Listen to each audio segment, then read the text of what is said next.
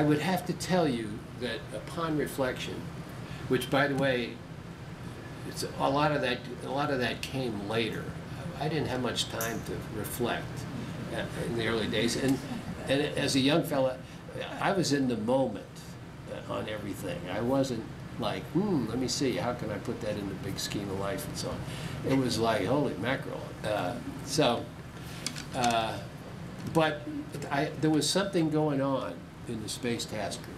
Some of you were there. There was something going on in the Space Task Group. I didn't know what, exactly what it was. I didn't have a label for it. Uh, but it was really leadership.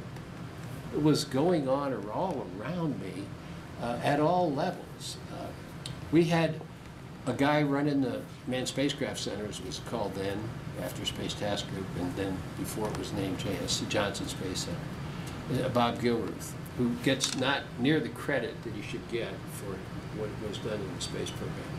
But let me just give you a little uh, snippet of what people who were his peers, not, not my age, but the same age as Bob Gilruth, and had worked with him for years at, up at Langley Field in, in NACA.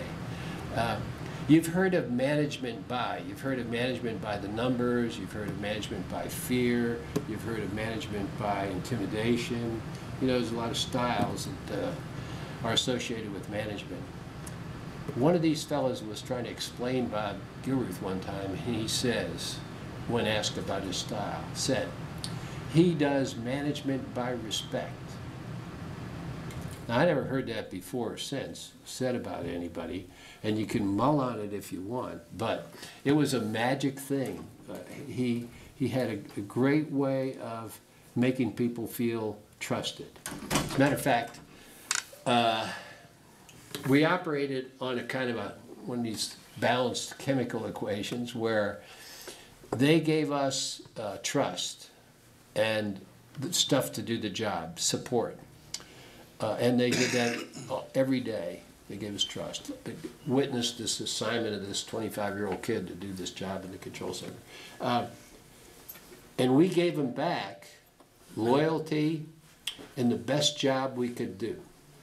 And you know, it was perfectly balanced because the trust continued and our, and our sense of obligation for having been given that trust increased our ability or our incentive to uh, perform well and so on.